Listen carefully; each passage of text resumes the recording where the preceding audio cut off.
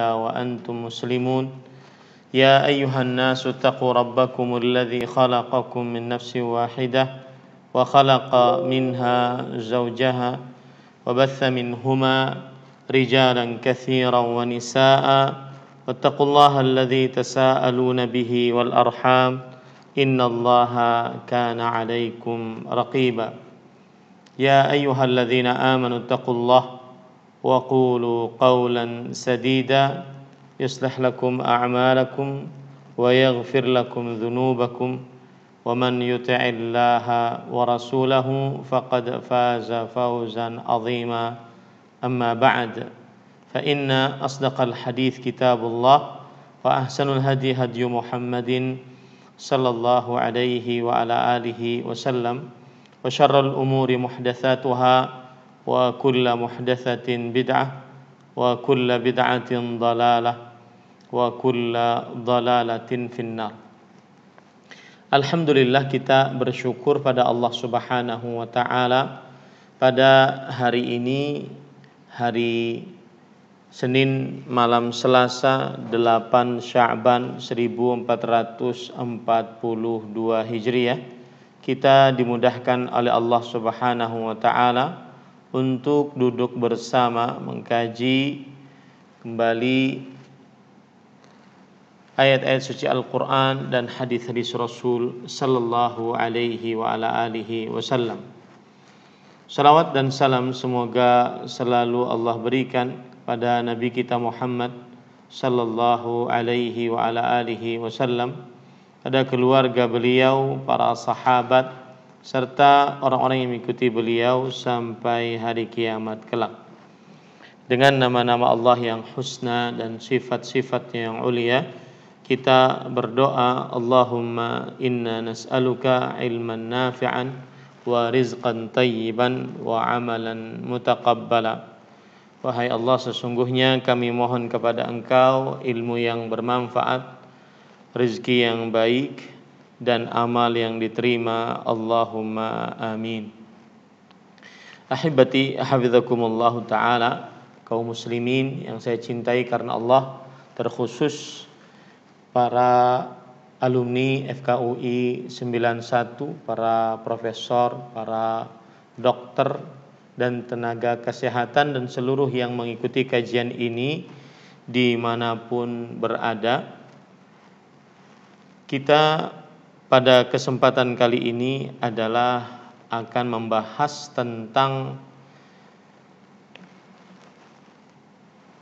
uh, materi kajian yang keempat yaitu pada materi tersebut kita sebutkan atau materi kajian yang ketiga maksud saya dan ini adalah pertemuan yang keempat yaitu permasalahan seputar puasa permasalahan seputar puasa.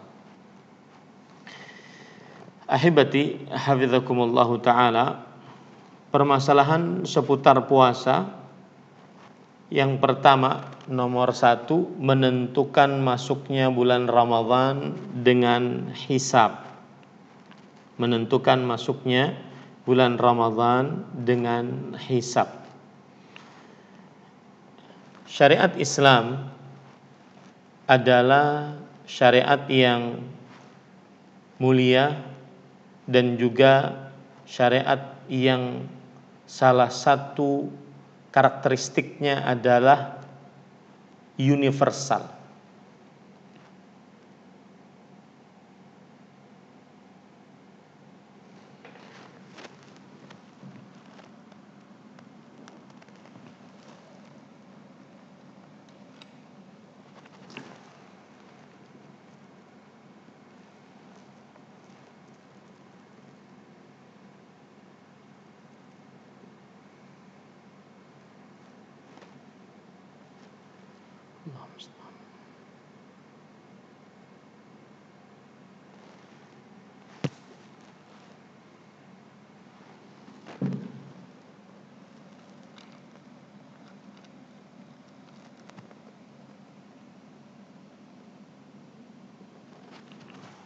Ya.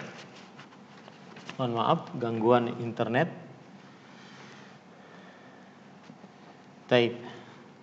Syariat Islam adalah syariat yang mudah dan menyeluruh untuk seluruh umat manusia di mana pun berada. Maka penggunaan metode hisap ini adalah hanya bisa digunakan untuk orang-orang yang berada di perkotaan dan memahami metode hisap tersebut. Dan kita sebagai seorang muslim wajib bersandarkan apa yang disebutkan oleh Allah Subhanahu wa taala dalam Al-Qur'an ataupun hadis Rasul sallallahu alaihi wasallam. Allah berfirman di dalam Al-Qur'an surat Al-Baqarah ayat 185, "Faman syahida minkum syahra falyasumhu." Barang siapa yang menyaksikan dari kalian bulan, maka hendaklah dia berpuasa pada bulan tersebut. Kata-kata menyaksikan ini menunjukkan kepada persaksian mata. Dan Rasulullah sallallahu alaihi wasallam juga bersabda dalam hadis sahih yang diriwayatkan oleh Imam Bukhari dan Muslim, "Sumu li ru'yatihi wa aftiru li ru'yatihi."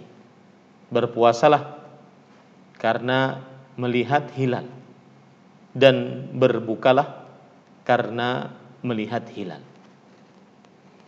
Kemudian juga Rasulullah Shallallahu Alaihi Wasallam mendekankan lagi dalam hadis yang lain dengan lafaz yang lain riwayat Bukhari dan Muslim la tasumu hatta tarauhu wa la tuftiru hatta yang artinya janganlah kalian berpuasa sampai kalian melihatnya.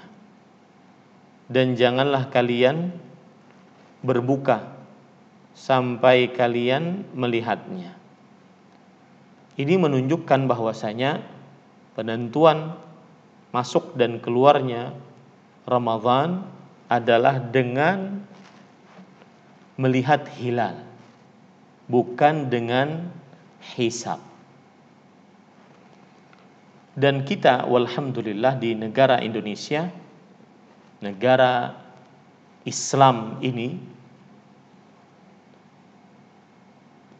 kita mendapati pemerintah sudah sesuai dengan petunjuk Al-Quran dan hadis Rasul Sallallahu Alaihi Wasallam dalam menentukan masuk dan keluarnya bulan Ramadhan, yaitu dengan rukyatul hilal. Makanya ada panitia Rukyatul Hilal. Ada sidang penetapan masuknya bulan Ramadhan berdasarkan Rukyatul Hilal. Oleh karena itu, selama pemerintah kita melaksanakan ini, maka saya mengajak kepada kaum muslimin untuk senantiasa selalu berpuasa dengan keputusan yang ditentukan oleh pemerintah kita. Pemerintah negara Kesatuan Republik Indonesia dalam hal ini Kementerian Agama. Dan ini berdasarkan hadis riwayat Imam Tirmidzi. As-saumu yauma tasumun wal fitru yauma tuftirun wal adha yauma tudahhun. Puasa itu pada hari kalian semua berpuasa. Lihat, pada hari kalian semua berpuasa. Ini menunjukkan bahwasanya berpuasalah pada saat orang-orang berpuasa secara menyeluruh. Dan tidak ada yang berhak menentukan itu dalam sebuah negara di zaman sekarang, yaitu pemerintah kita dan saya tidak ragu mengatakan bahwasanya pemerintah kita adalah ulil amri, yang disebutkan di dalam ayat-ayat Al-Quran dan hadis dari Rasul Sallallahu Alaihi Wasallam yang kita wajib patuh taat kepadanya. Dan sudah menjadi ijma konsensus kesepakatan kaum muslimin dari mulai semenjak dahulu bahwa semenjak kaum muslimin terpecah-pecah menjadi beberapa negara, beberapa kerajaan, maka pada saat itu kaum muslimin wajib patuh pada pemimpin muslimnya di daerah tersebut. Kecuali nanti Allah Subhanahu wa taala wallahu alam kapan menentukan kaum muslimin di bawah satu kekhalifahan kembali maka dia wajib taat kepada satu khalifah tersebut. Tetapi kita sekarang bernegara negara Indonesia, negara kesatuan Republik Indonesia yang dipimpin oleh presiden yang sah, maka apalagi sesuai dengan petunjuk Rasul Shallallahu Alaihi Wasallam dalam penentuan masuk dan keluarnya bulan Ramadhan yaitu dengan rukyatul hilal maka pada saat itu kita wajib untuk mengikuti keputusan pemerintah. Bahkan saya mengajak kepada organisasi-organisasi masyarakat agar menggalakkan akan hal ini. Agar kesatuan kaum muslimin benar-benar terlihat di mana-mana terutama di Nusantara ini di negara kesatuan Republik Indonesia ini. Ketika berpuasa dan ketika berhari raya semuanya satu kesatuan kemudian ahibati hafizakumullah taala yang patut diperhatikan juga Rasul sallallahu alaihi wasallam pernah bersabda bahwasanya inna ummah ummiyah. Sesungguhnya kita adalah umat yang buta tulis, membaca dan menulis. Asyahru hakadha wa hakadha. Bulan itu seperti ini, seperti ini. Yaitu kadang-kadang 29, kadang-kadang 30. La nahsib dan kita tidak menghitung. Ini jelas sekali. Rasul Shallallahu Alaihi Wasallam bersabda demikian. Maka sekali lagi saya katakan di awal metodologi penentuan Ramadan dengan hisab adalah hanya sebatas menolong, bukan sebatas eh, bukan sebagai eh, dasar menentukan karena kita mempunyai Al-Qur'an dan hadis Rasul sallallahu alaihi wasallam yang sudah disebutkan oleh Allah dalam Al-Qur'an dan hadis Rasul sallallahu alaihi wasallam tentang penentuan masuknya bulan Ramadan. Dan para ikhwan yang dirahmati oleh Allah Subhanahu wa taala, sebenarnya saya ingin membacakan perkataan yang sangat agung dari Imam ahli hadis di zaman sekarang, Imam Al-Albani rahimahullahu taala. Mungkin saya bacakan uh, beliau mengatakan wa hadha samha min nas wa tauhid sufufihim kulli ma yufarriqu jam'ahum min al-ara'il fardiyah fala ta'tabiru asy-syari'ah ra'y al-fardi walau kana sawaban fi wijhati nadharihi fi ibadatin jamaiyah kasaum wa ta'yid wa salatil jamaah. Lihat ini perkataan agung. Perhatikan baik-baik. Hal inilah yang paling sesuai dengan syariat yang mudah. Yang mana tujuannya menyatukan manusia dan menyatukan barisan mereka yaitu kaum muslimin menjauhkan mereka dari setiap hal yang memecah belah kesatuan mereka. Syariat Islam tidak menganggap pendapat personal meskipun benar di dalam pandangannya di dalam ibadah yang dilakukan secara bersama-sama seperti berpuasa, berhari raya dan sholat berjamaah. Lihat di sini para ikhwan yang dirahmati oleh Allah Subhanahu wa taala.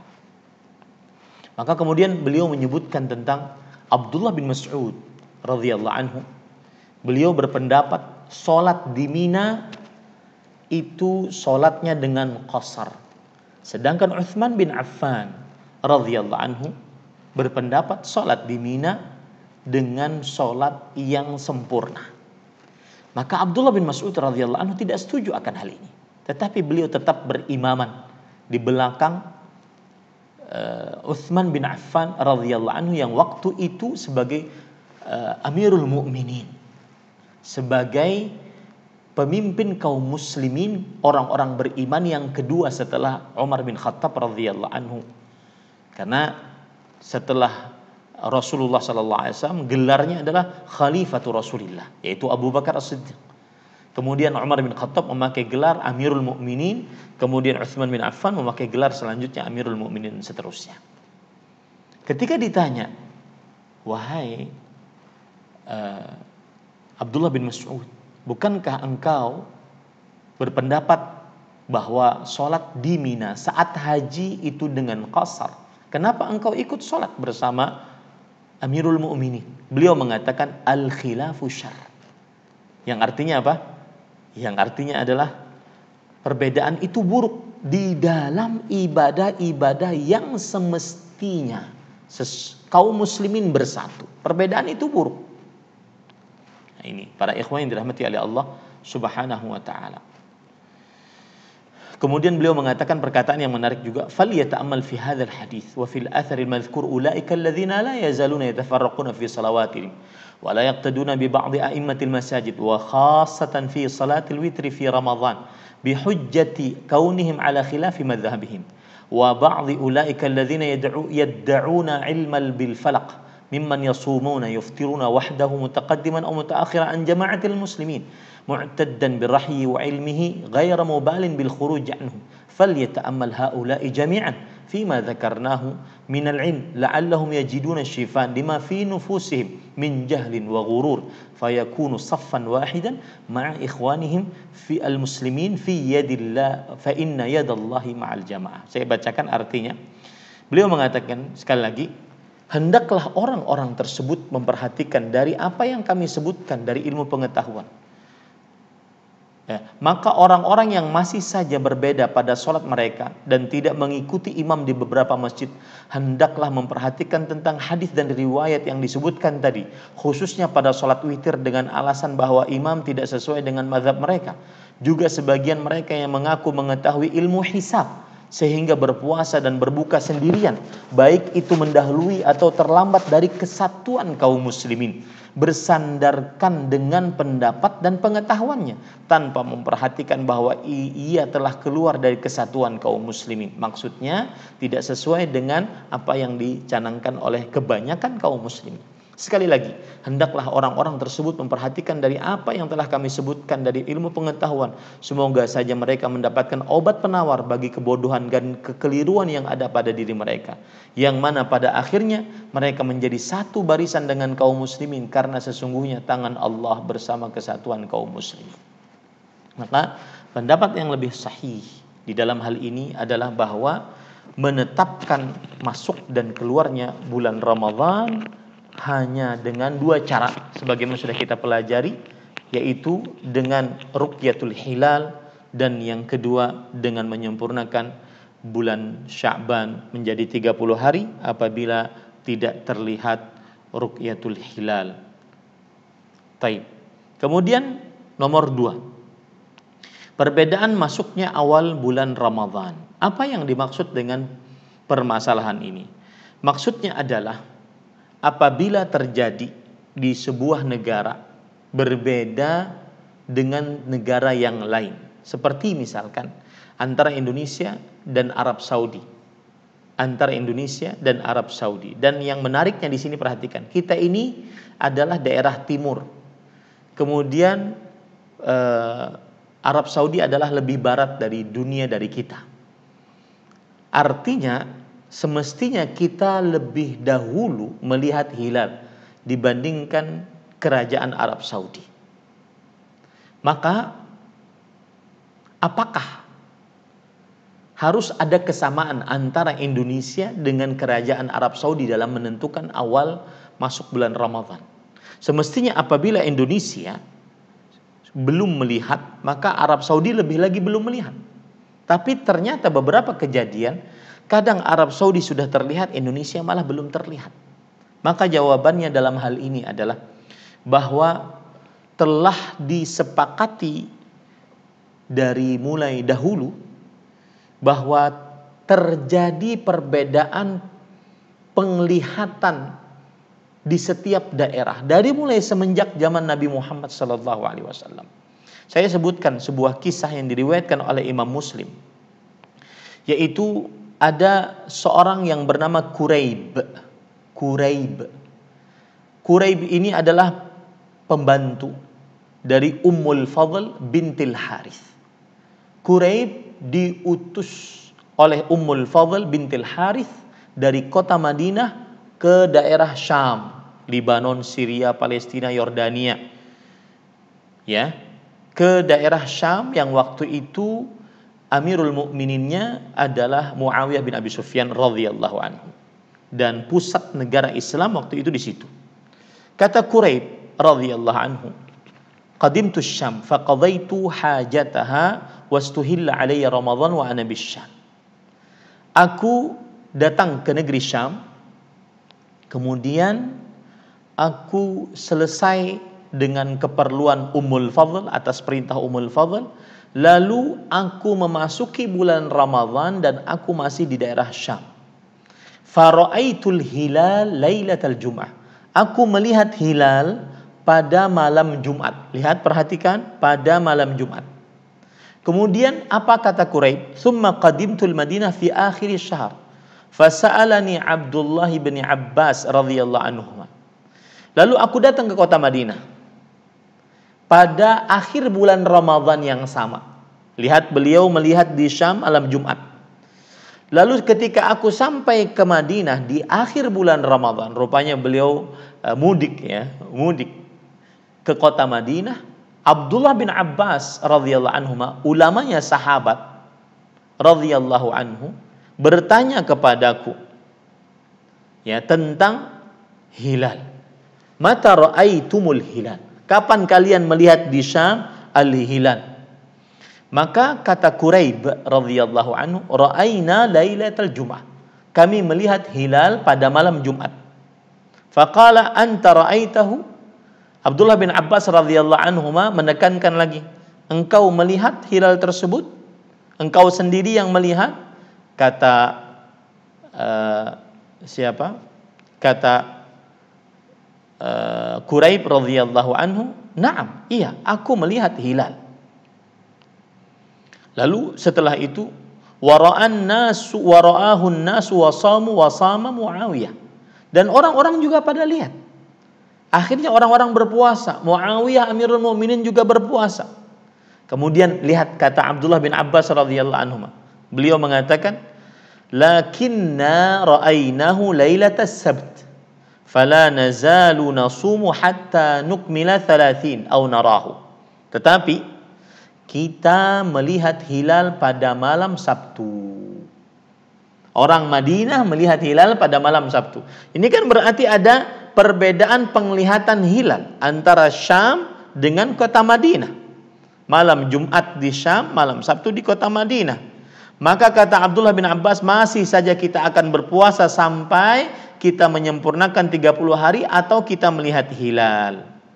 Kemudian Quraib berkata, "Awala taktafi bi ru'yati Muawiyah wa siyamih?" Wahai Abdullah bin Abbas, apakah tidak cukup dengan apa yang engkau lihat? Dengan apa yang Muawiyah lihat di malam Jumat dan juga berpuasanya Muawiyah di malam Jumat? Maka Abdullah bin Abbas mengatakan radhiyallahu anhu, "La. Hakadha amarna Rasulullah sallallahu alaihi wasallam." Tidak. Demikianlah yang kita diperintahkan oleh Rasulullah sallallahu alaihi wa ala alihi wasallam. Maka para ikhwah yang dirahmati oleh Allah Subhanahu wa taala, jadi apabila terjadi perbedaan penglihatan di beberapa negara, itu sudah biasa dari mulai semenjak zaman para sahabat Nabi radhiyallahu anhum. Berarti setiap negara sesuai dengan penglihatannya masing-masing.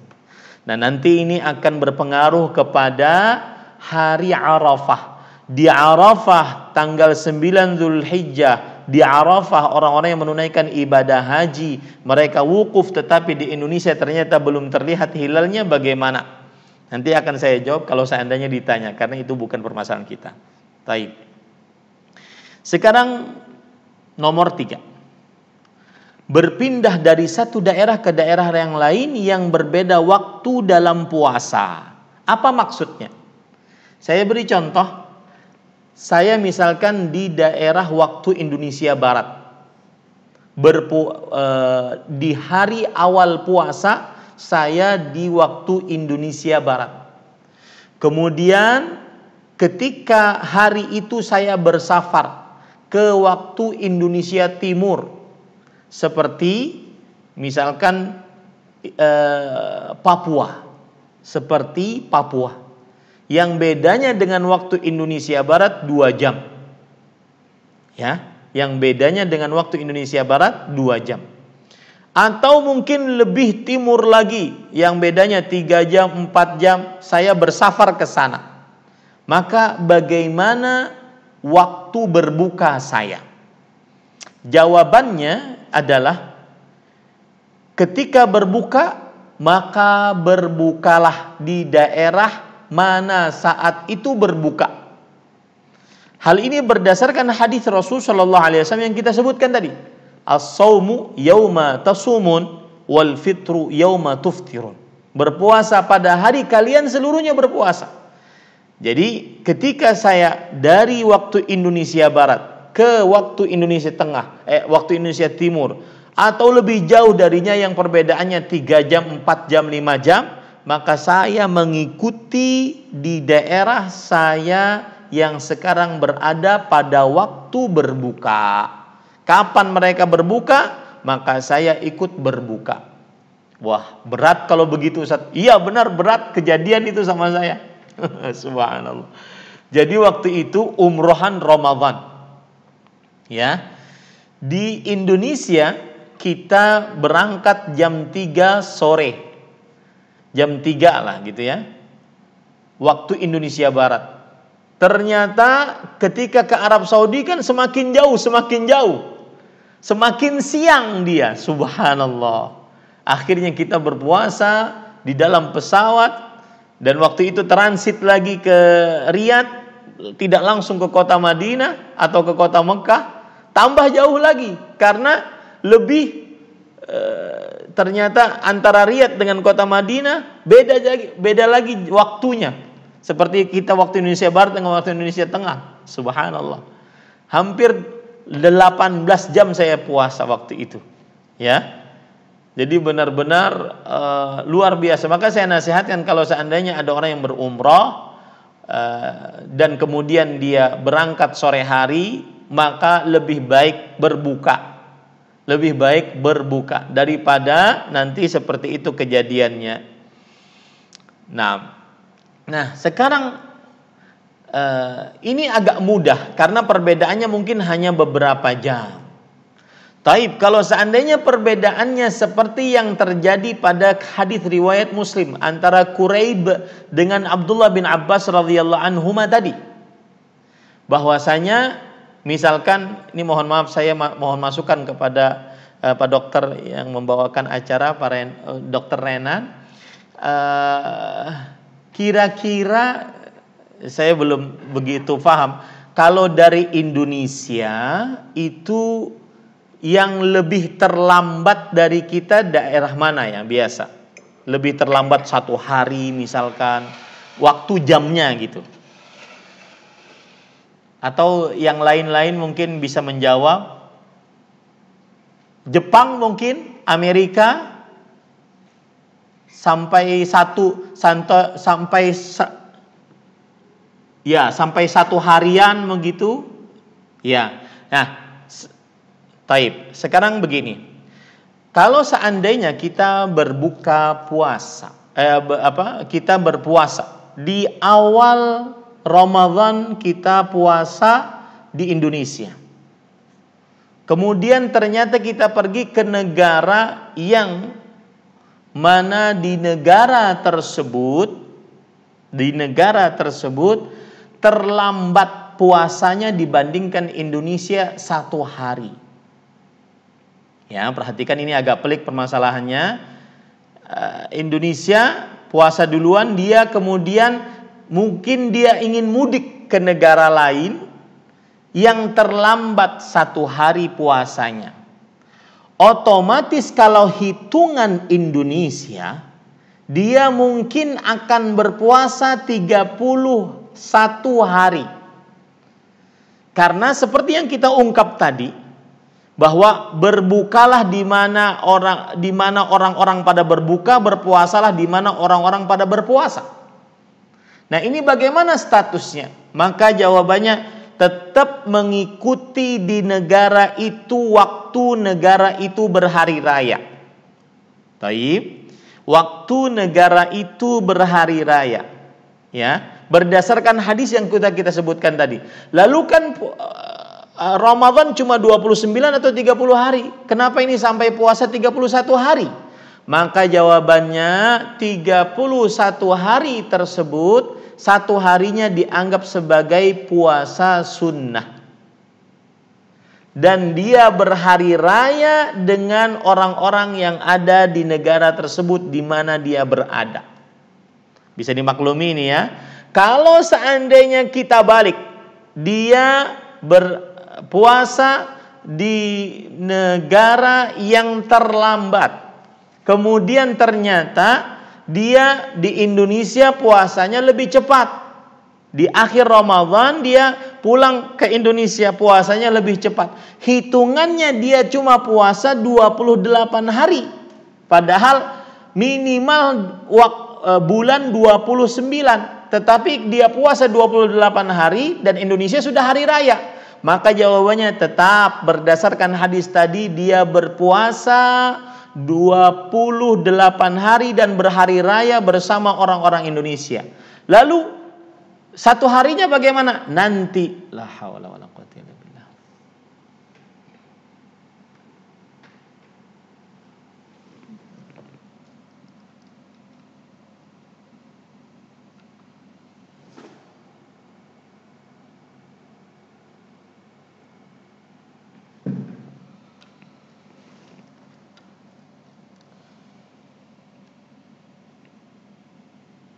Ya. Ya. Satu harinya gimana? Bapak Ibu saudara-saudari yang dimuliakan oleh Allah Subhanahu wa taala. Mohon maaf nih kenapa nggak tahu malam ini agak sendat-sendat internetnya. Biasanya lancar jaya. Taib, bismillah. Kita lanjut. Lalu satu harinya bagaimana? Maka dia qadha di lain hari satu harinya. Agar menyempurnakan puasanya menjadi 30 eh 29 hari minimal. Nah, ini Bapak Ibu, saudara-saudari yang dimuliakan oleh Allah Subhanahu wa taala. Taib. Kita lanjut permasalahan nomor 4. Seorang kafir masuk dalam agama Islam bagaimana puasanya? Saya beri contoh permasalahan ini adalah apabila ada orang siang hari masuk dalam agama Islam di hari Ramadan. Maka apakah kodok atasnya atau tidak? Ya, hari itu, hari itu dia kodok atasnya atau tidak? Maka jawabannya para ikhwan yang dirahmati oleh Allah Subhanahu wa taala yang jelas puasa-puasa yang telah lalu semenjak dia balik sampai dia masuk Islam tidak ada kodok atasnya. Ini yang pertama. Allah berfirman dalam surah Al-Anfal ayat 38. Qul lilladzina kafaru in yantahu yughfar lahum ma qad salaf. Katakan wahai Muhammad sallallahu alaihi wasallam untuk orang-orang kafir, jika kalian berhenti dari kekafiran, maka akan diampuni dosa-dosa kalian yang telah lalu. Ini tidak ada perbedaan pendapat di antara para ulama bahwasanya orang kafir masuk Islam, maka puasa-puasa tahun-tahun yang lalu tidak ada qadha atasnya. Yang terjadi perbedaan pendapat di antara para ulama adalah hari dia masuk Islam. Apakah ada qadha atasnya? Ada yang berpendapat bahwasanya dia setelah masuk Islam, saya beri contoh misalkan jam 10 pagi dia masuk Islam. Maka dia pendapat pertama wajib menahan dan tidak eh, dan mengkodok di lain hari. Wajib menahan. Artinya dari jam 10 dia sudah masuk Islam sampai maghrib dia tidak boleh makan minum. Tetap dan dia wajib mengkodok di lain hari. Dan besoknya dia puasa. Terus sampai akhir bulan. Ini pendapat pertama. Pendapat yang kedua adalah tidak wajib mengkodok. Tidak wajib mengkodok. Meskipun dia diwajibkan untuk menahan dirinya. Dari mulai jam 10 masuk Islam, asyhadu alla ilaha illallah, asyhadu anna muhammadar rasulullah, pada bulan Ramadan dia masuk Islam, mulai saat itu dia wajib mengkod, apa, menahan dirinya dari menahan, menahan makan, minum dan seluruh yang membatalkan puasa sampai terbenam matahari. Tetapi tidak wajib mengkodok. Wallahu alam pendapat yang dikuatkan oleh para ulama di antaranya Imam Malik rahimahullahu taala, Imam Ibnul Munzir, Abu Thawr, kemudian Imam Ahmad, Imam Ibnu Utsaimin bahwa apabila masuk dalam agama Islam saat matahari sudah tergelincir misalkan maka kita katakan kepadanya puasa Anda dari mulai Anda masuk Islam dan tidak ada qada atasnya. Tidak ada qada atasnya Kenapa? Karena para ulama mengatakan lam yudrik fi zamanil ibadah ma yumkinuhu talabbusu biha fihi. Yang artinya dia belum mendapati zaman untuk beribadah karena dari pagi hari dari mulai terbit fajar kedua waktu subuh sampai jam 10 dia belum sah untuk menunaikan ibadah puasa ya maka pada saat itu tidak ada qada atasnya tetapi tetap diwajibkan untuk berpuasa sampai akhir e, hari yaitu e, waktu maghrib. Materi kajian dua permasalahan seputar puasa nomor 5 yaitu anjuran untuk anak-anak berpuasa. Ahibati hafizakumullah taala maksudnya di sini adalah anak-anak apabila berpuasa dan dia belum balik, maka puasanya sah. Puasanya sah. Karena balik adalah syarat wajib. Jadi kalau kita berbicara tentang syarat-syarat puasa itu gini Pak. Ini kalau pembicaraan fikih ya begini. Syarat puasa kan ada enam. Islam, balik, berakal, mampu, mukim, kemudian terlepas dari halangan haid dan nifas. Ada enam. Ya, syarat-syarat dari wajibnya berpuasa. Nah, Islam ini syarat sah dan syarat wajib. Artinya, jika tidak Islam tidak sah dia untuk berpuasa dan tidak wajib dia untuk berpuasa. Yang pertama, yang kedua, balik. Ini adalah syarat wajib saja. Artinya kalau ada anak yang belum balik tetap sah puasanya. Syarat wajib saja. Yang ketiga, berakal. Ini adalah syarat sah dan syarat wajib. Artinya apabila ada orang yang tidak berakal, gila, hilang ingatan, maka tidak sah puasanya dan tidak wajib dia berpuasa. Gitu ya. Yang keempat, mampu. Ini adalah syarat uh, sah. Afwan, syarat wajib, ya. Apabila dia tidak mampu, maka tidak wajib dia berpuasa. Tapi kalau dia paksakan sah puasanya. Sah puasanya. Gitu ya. Kemudian yang kelima, syarat uh, mukim. Apabila dia safar, maka sah puasanya. Mukim adalah syarat wajib saja. Nah, ini Bapak Ibu saudara-saudari. Jadi ada begitu, ada syarat wajib, ada syarat sah. Nah, anak-anak apabila dia berpuasa, maka sah puasanya meskipun tidak diwajibkan. Dan kebiasaan para sahabat Nabi radhiyallahu anhu mereka membiasakan anak-anak mereka untuk berpuasa agar terbiasa berpuasa. Ya, sebagaimana dalam hadis riwayat Bukhari dan Muslim dari hadis Rubayy binti Muawwidh radhiyallahu anhu bahwasanya beliau bercerita kunna nasumuhu ba'du wa nusawwimu sibyanana. Kami berpuasa pada hari itu setelah itu kemudian kami membiasakan anak-anak kami untuk berpuasa. Bagaimana caranya? Nadha'u lahumul lu'bata minal ihin fanadhhabu bihi ma'ana kita kasih dia mainan, kemudian dia bermain-main bersama kita. Fa idza sa'aluna ta'am a'tainahumul lu'bah tulhihim hatta yutimmu shaumahum. Apabila mereka kelaparan minta makanan, maka kita kasih lagi makanan. Eh kita kasih lagi mainan sampai mereka terlupakan dari makanan sampai mereka menyempurnakan puasa mereka. Nah, kemudian permasalahan seputar puasa yang keenam balik ketika siang hari Ramadhan. Apa maksudnya? Ada seorang anak yang balik di siang hari Ramadhan. Maka bagaimana yang harus dia lakukan? Ya.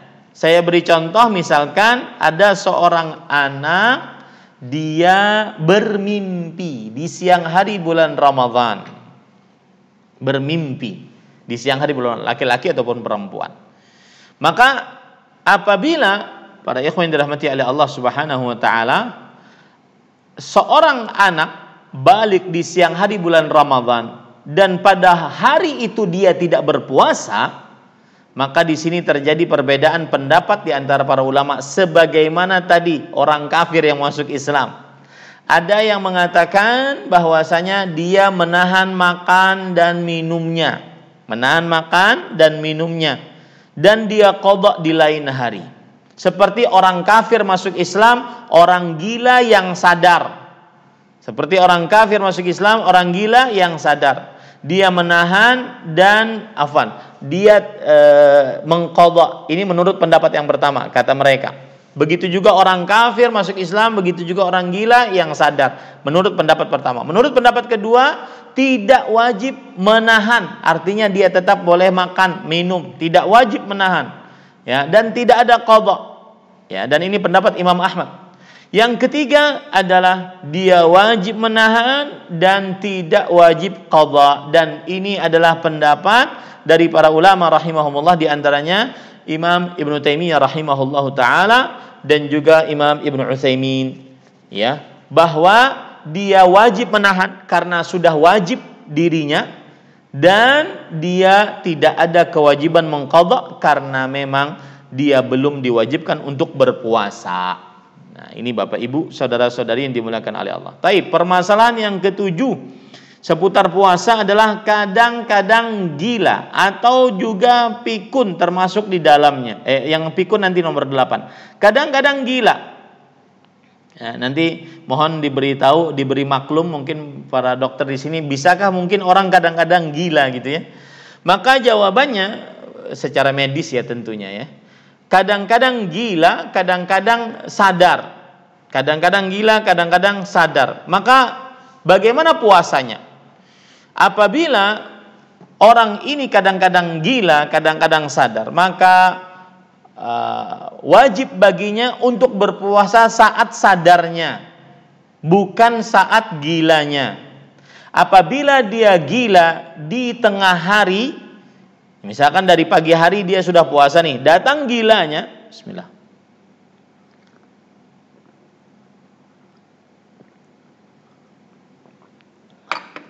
Saya minum dengan tangan kanan.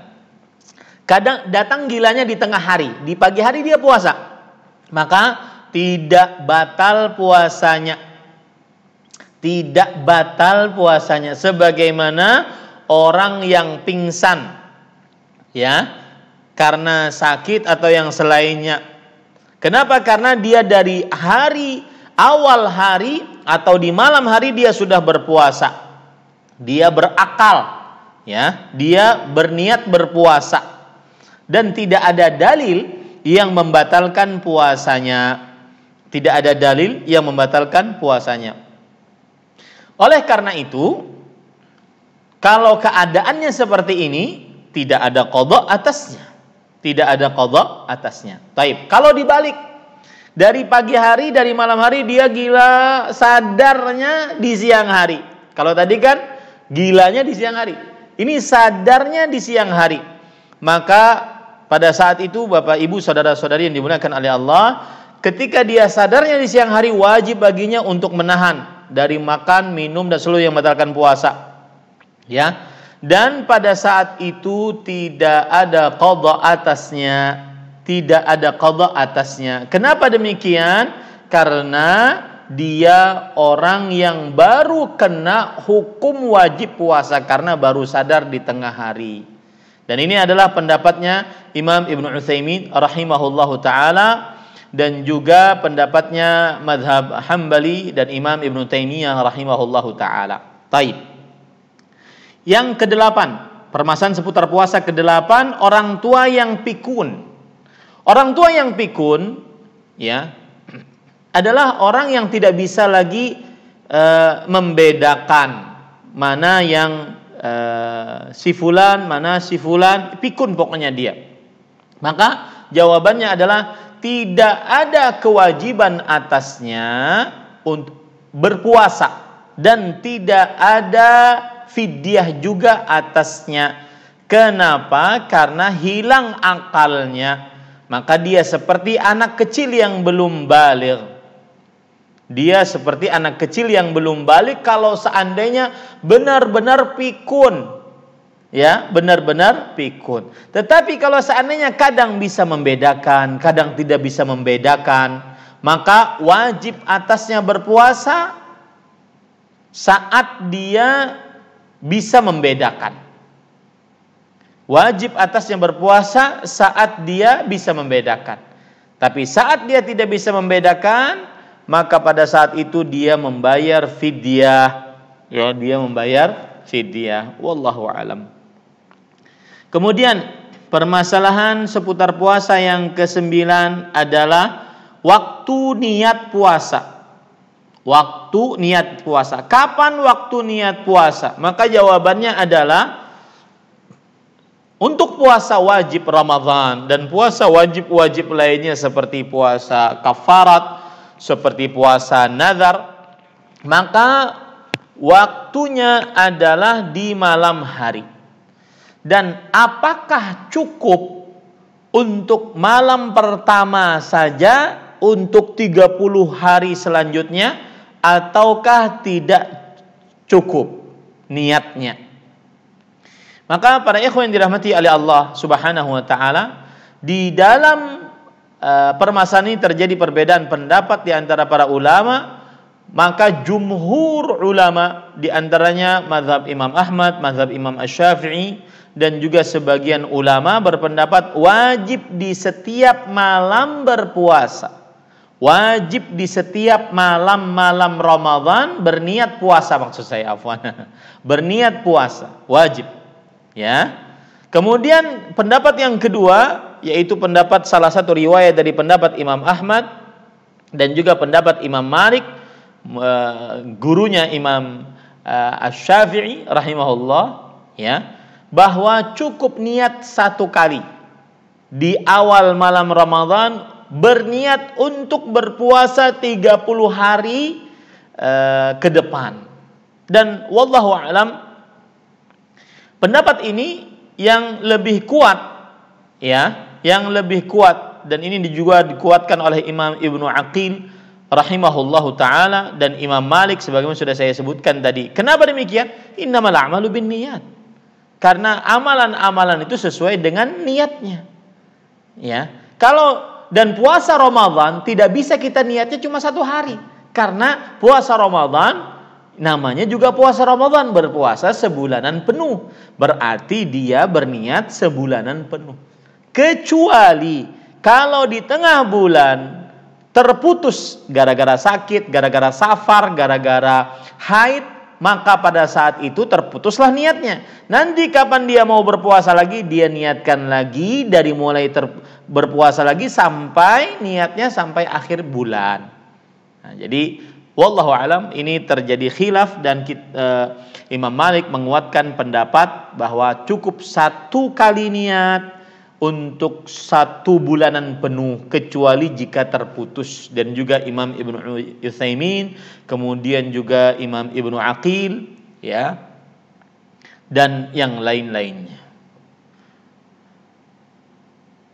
Dan juga ya, ini adalah pendapatnya Imam Ibnu Al-Qayyim rahimahullahu taala. Taib, permasalahan yang ke-10, imsak sebelum azan 15 menit. Ini kita sudah berapa menit? Oh, sudah 50 menit. Taib, pas 50 menit ya.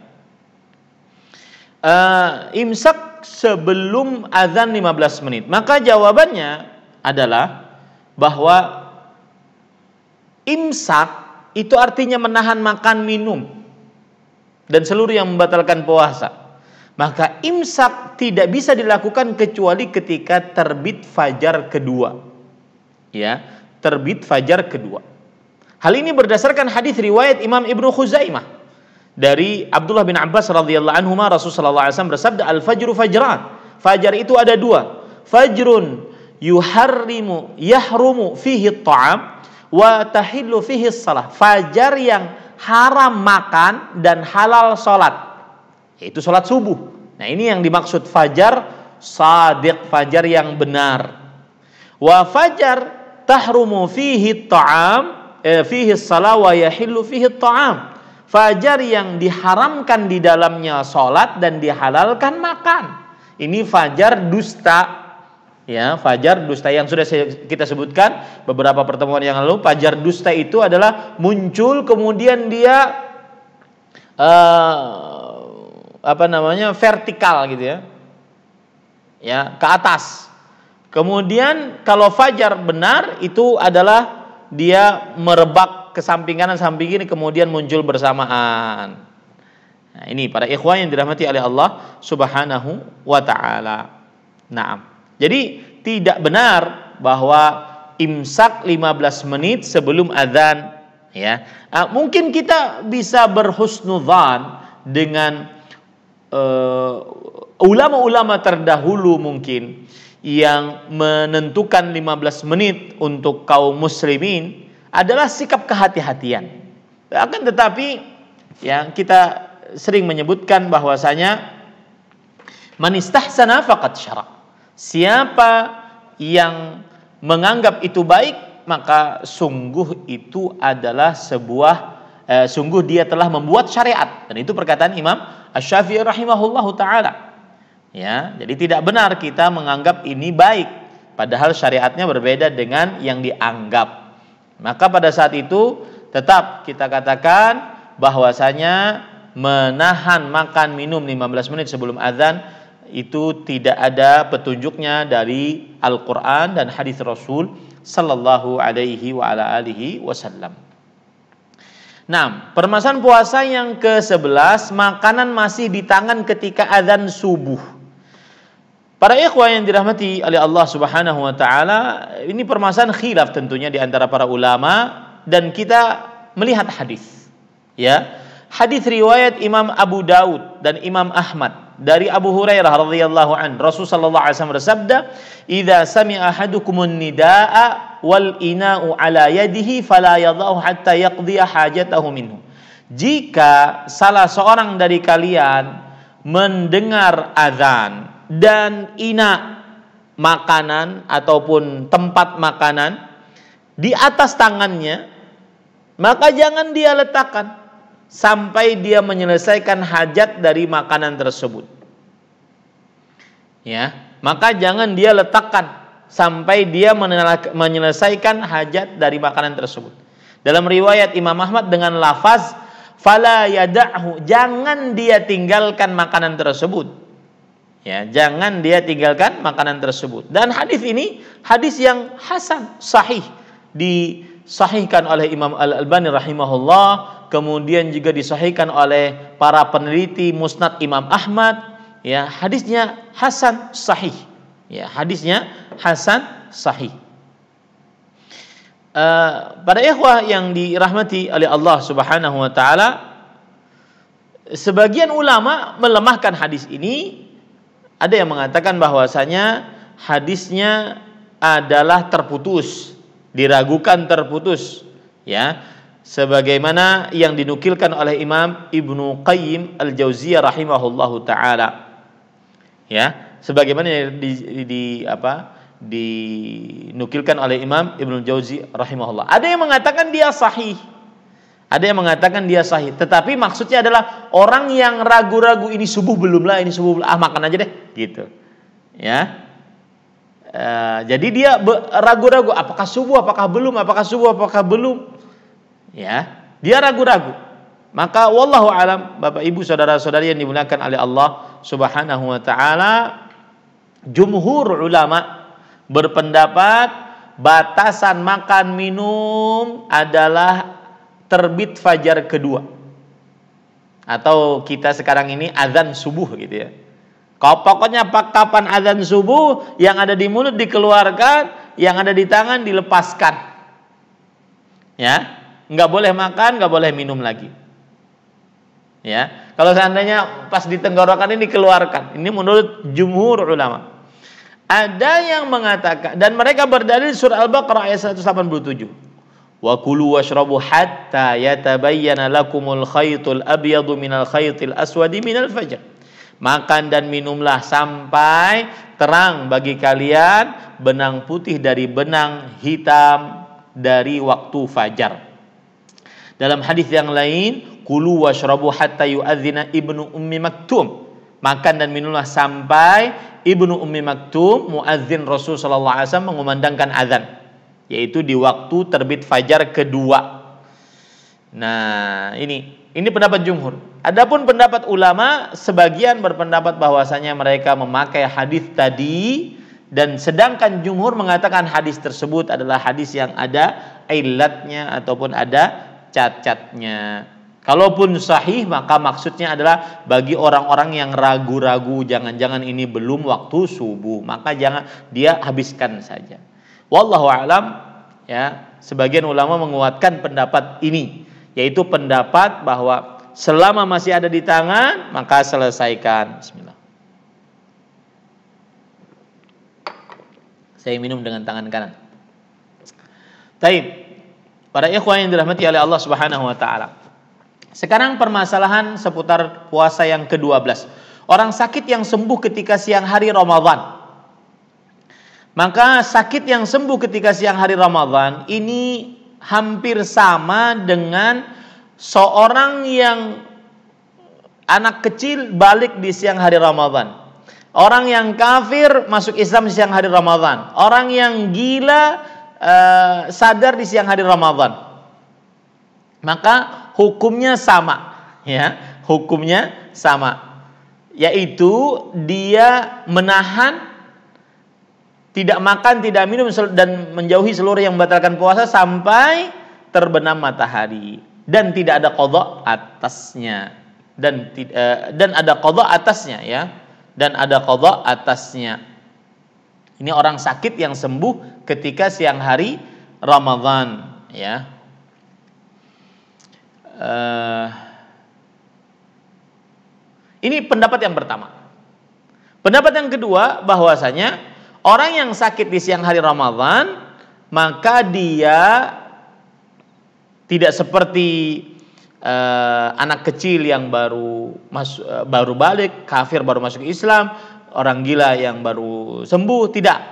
Tetapi dia jika sembuh di siang hari Ramadan maka dia menahan eh maka dia tidak perlu menahan dia tidak perlu menahan dan dia masih boleh makan dan minum tetapi dia mengkodok di lain hari nah ini para ikhwah yang dirahmati oleh Allah subhanahu wa ta'ala ya jadi saya ulangi di sana ada dua kelompok ya ada dua kelompok nih yang pertama orang sakit eh, anak kecil yang balik di siang hari Ramadan. Orang kafir yang masuk Islam. Orang gila yang sadar. Maka ini hukumnya, hukumnya ingat baik-baik adalah dia wajib menahan sampai terbenam matahari. dan tidak ada qadha atasnya. Sedangkan orang yang sakit kemudian sembuh di siang hari Ramadan, wanita yang haid kemudian bersih di siang hari Ramadan, ya, orang yang safar kemudian sampai di siang hari Ramadan dan dia tidak berpuasa dari awal hari, maka orang ini tetap boleh makan, tetap boleh minum, tetap boleh mengerjakan hal-hal yang dilarang saat berpuasa ya dan dia mengkodok di lain hari. Jadi ada dua kelompok ya. Ingat baik-baik, ada dua kelompok. Yang pertama yang anak-anak balik di siang hari Ramadan, kafir masuk Islam siang hari Ramadan, orang gila sadar siang hari Ramadan. Apa kerjaan mereka? Mereka menahan sampai terbenam matahari, menahan makan, minum dan seluruh yang membatalkan puasa sampai terbenam matahari. Kemudian mereka tidak wajib mengqadha. Ini pendapat yang dikuatkan. Kemudian apabila ada orang sakit di siang hari Ramadan sembuh, orang wanita haid di siang hari Ramadan bersih, orang safar di siang hari Ramadan sampai e, tempatnya, maka pada saat itu dia tetap bisa makan, minum, e, kemudian e, dia mengkodok di lain hari, ya begitu ya. Kemudian dia mengkodok di lain hari. Hal ini berdasarkan hadis riwayat Imam uh, Ahmad dari Abdullah bin Mas'ud radhiyallahu anhu beliau berkata man akala awwalan nahar falyakul akhirahu. Siapa yang sudah makan di di pagi hari maka dia boleh makan di siang hari. Ini bagi siapa yang sakit sembuh di tengah hari. Bagi siapa yang haid e, bersih di siang hari. Kemudian bagi siapa yang apa tadi satu lagi? Bagi siapa yang safar sampai di siang hari. Wallahu alam. Nah Kemudian ahibati hafizakumullah taala permasalahan yang selanjutnya yaitu permasalahan yang ke 12. Baru 12 ya. Kita sudah 39 permasalahan padahal subhanallah. Taib. Bapak Ibu saudara-saudari yang dimuliakan oleh Allah Subhanahu wa taala,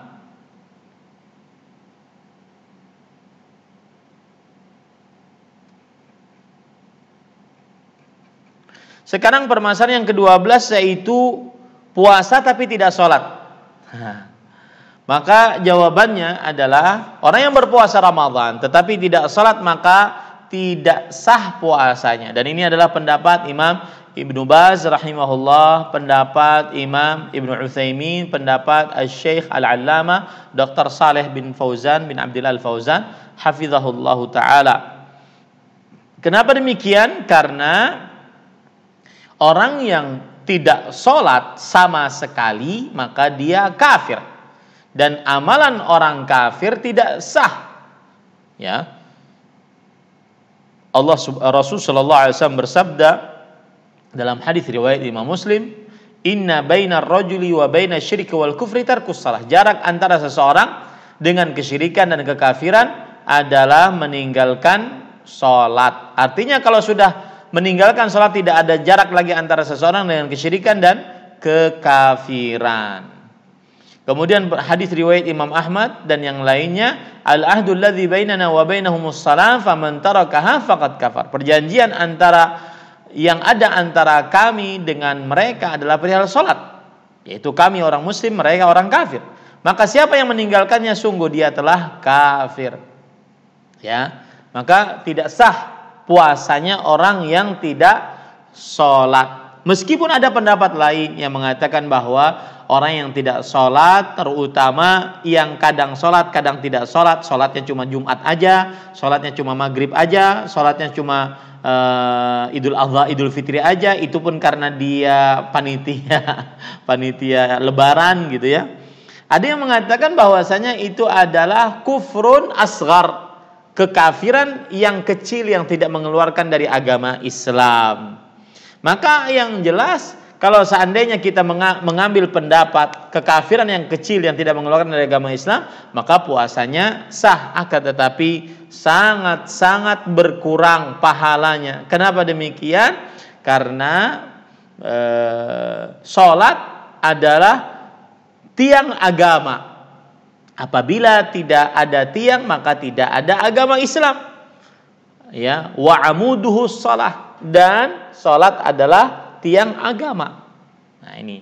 Jadi memang terjadi khilaf di antara para ulama dan kita menguatkan pendapat ulama yang mengatakan tidak sah. Wallahu alam. Kemudian ke-13 puasanya dipenuhi dengan tidur. Bagaimana kalau puasa cuma tidur saja? Maka jawabannya adalah Allah Subhanahu wa taala ketika mensyariatkan puasa adalah tujuannya kita bertakwa dan takwa mengerjakan perintah menjauhi larangan. Itu takwa. Ya. Maka sebagaimana disebutkan oleh Allah dalam surah Al-Baqarah ayat 183 ya ayyuhalladzina amanu kutiba alaikumus siyam kama kutiba alal ladzina min qablikum la'allakum tattaqun Wahai orang beriman diwajibkan atas kalian berpuasa dan sebagaimana orang-orang sebelum kalian diwajibkan atas mereka berpuasa agar kalian bertakwa. Maka tidur ya Eh, bukan uh, bukan sebagai uh, ketakwaan ya tetapi tidur adalah sebagai sebuah sesuatu kelalaian sebuah kelalaian dan Rasulullah Shallallahu Alaihi Wasallam bersabda Man lam yada' qawla zur wal amala bihi wal jahla falaysa lillahi haja fi an yada'a ta'amahu wa syarabah. Siapa yang tidak meninggalkan perkataan dusta dan perbuatan yang mengkonsekuensikan kepada kedustaan, maka uh, kemudian saya ulangi, siapa yang menti, uh, yang tidak meninggalkan perkataan dusta dan tidak me, uh, meninggalkan perbuatan yang mengkonsekuensikan kepada kedustaan dan juga perbuatan sia-sia. Jahla perbuatan sia-sia. Ya. Maka pada saat itu Allah tidak memerlukan dia meninggalkan makan dan minumnya. Artinya puasanya sia-sia. Adapun hadis yang disebutkan dari Abdullah bin Abi Aufa al-Aslami bahwa Rasul sallallahu alaihi wasallam diriwayatkan bersabda, "Naumus saimi ibadah." Tidurnya orang berpuasa itu adalah ibadah. Wa sumtuhu tasbih dan diamnya adalah tasbih. Wa du'auhu mustajab dan doanya dikabulkan. Wa amaluhu mudha'af dan amalannya dilipatkan. Maka hadis ini para ikhwan yang dirahmati oleh Allah Subhanahu wa taala Kata Imam Al-Baihaqi, di dalamnya ada seorang perawi Ma'ruf bin Hassan. Dan Ma'ruf bin Hassan adalah rawi yang dhaif, yang lemah. Dan di dalamnya ada seorang Sulaiman bin Amr An-Nakhai. Sulaiman bin Amr An-Nakhai adhab minhu kata Imam Al-Baihaqi. Lebih lemah lagi di dalamnya. Lebih lemah lagi di dalamnya. Kemudian Al-Hafidh Al-Iraqi rahimahullah mengatakan di dalamnya ada Sulaiman An-Nakhai, ahadul kadzabin. Dia adalah salah satu orang yang suka berdusta dalam meriwayatkan hadis. Dan kemudian juga di dalamnya ada Abdul Malik ibn Umair. Dan disebutkan oleh Imam Az-Zahabi bahwa dia adalah seorang uh, rawi yang lemah, makanya disebutkan oleh Imam Az-Zahabi dalam kitab Ad-Du'afa.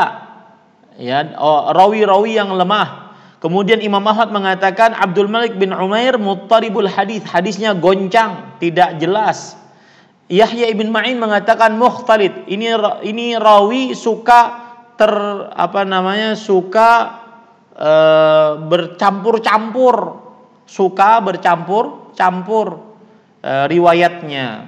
Kemudian Abu Hatim mengatakan laisa laisa bihafidh dia bukan seorang yang penghafal hadis. Makanya hadisnya ini lemah, tidak bisa dijadikan sebagai sandaran. Jadi jangan banyak tidur Ramadan, malah uh, Rasulullah SAW Ramadan malah beliau berjihad di jalan Allah Subhanahu Wa Taala perang Badar pada bulan Ramadan. Taib.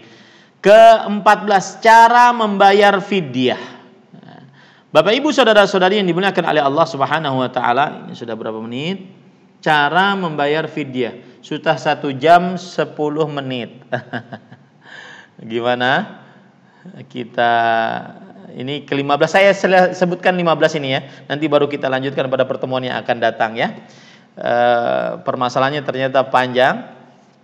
E, fidyah itu dilakukan oleh orang yang tidak berpuasa dan tidak sanggup untuk berpuasa. Seperti misalkan orang tua renta. Dia balik, berakal, ya, kemudian muslim, tetapi dia tidak mampu. Dia mukim, tidak haid, tidak nifas, mukim. Ya, tetapi cuma satu permasalahan tidak mampu. Orang tua renta, sakit, kronis menahun, ya.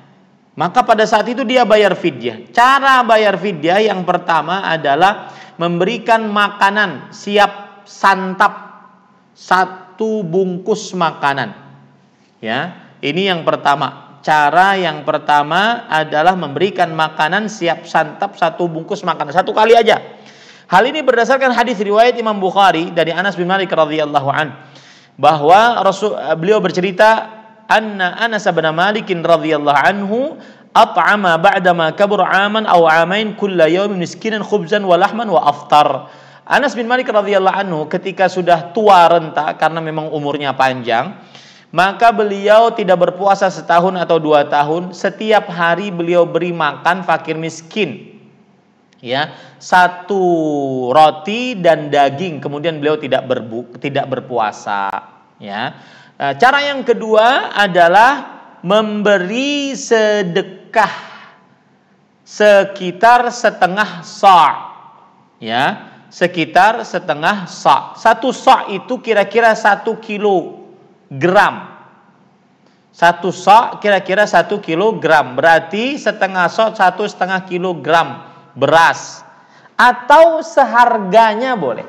Atau seharganya boleh ya ini Bapak Ibu saudara-saudari yang dimuliakan oleh Allah Subhanahu wa taala. Cukup Pak Dokter Rena kita belum eh, waktunya biar apa pertanyaan-pertanyaan dulu kita eh, angkat. Nah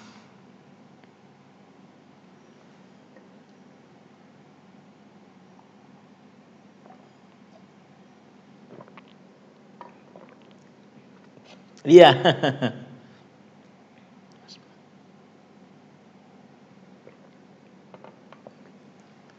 ya.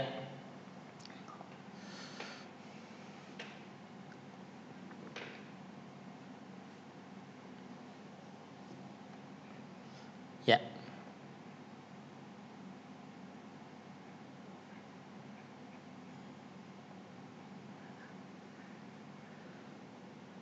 Siap.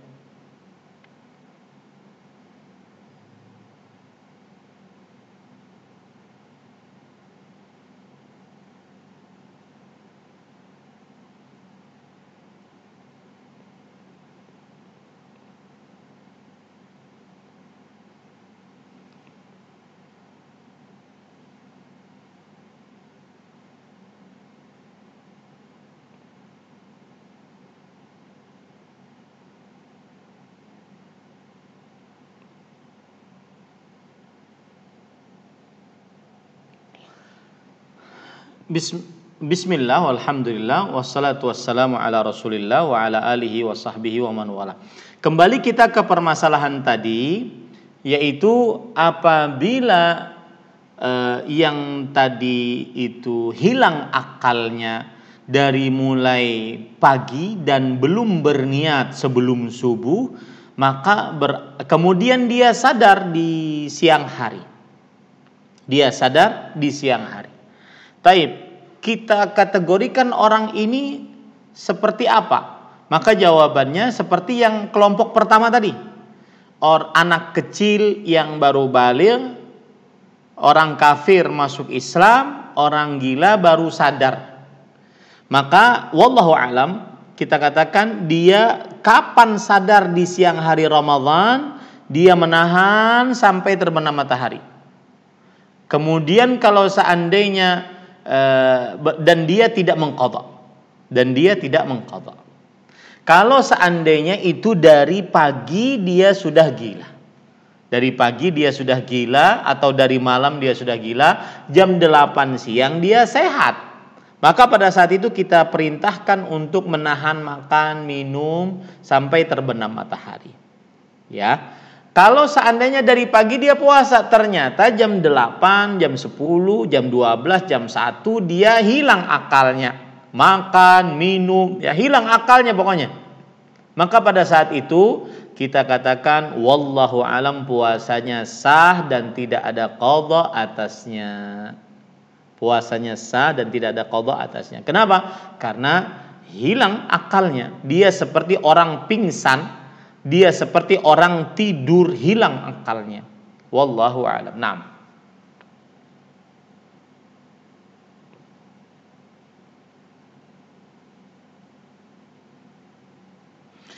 Tidak ada hukum atasnya.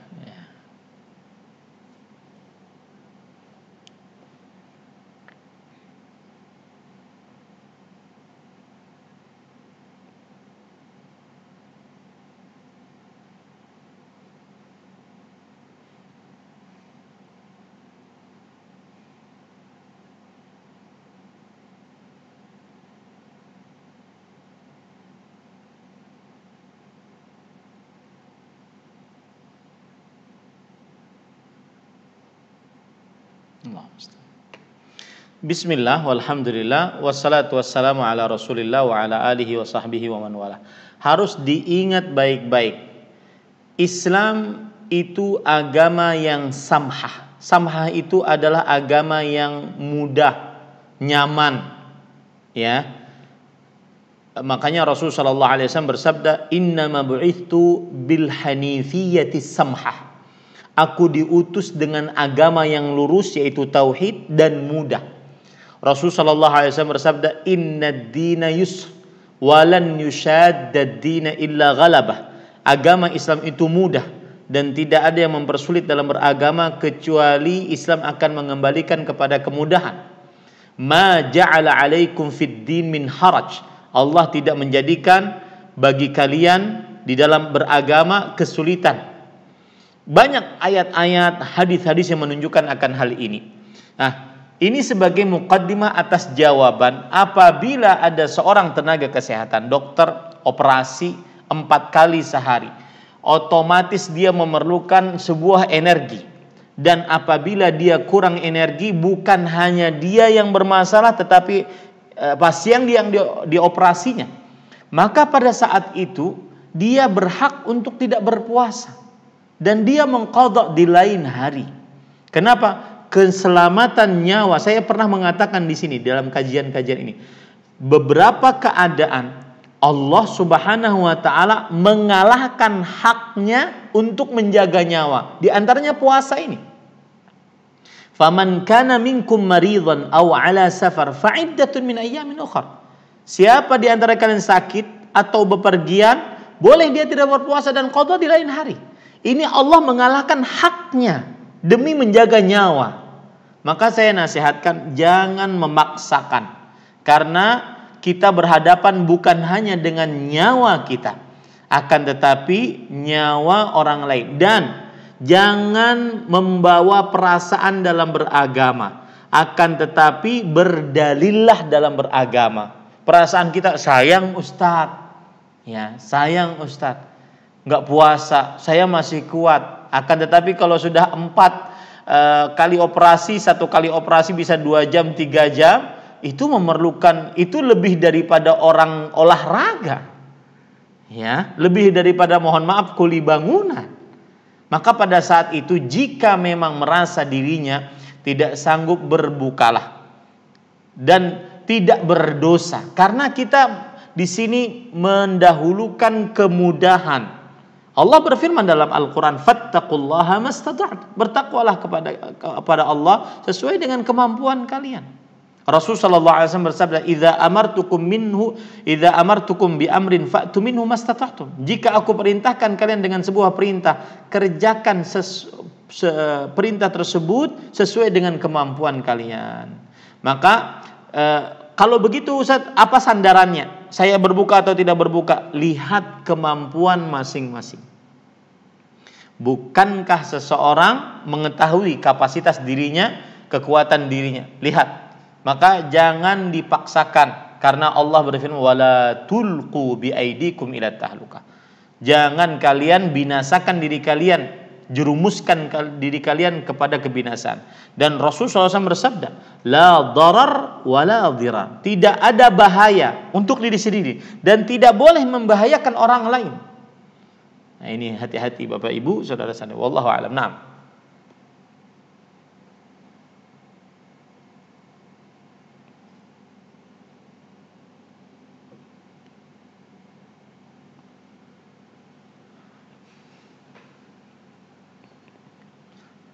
Ya, ya.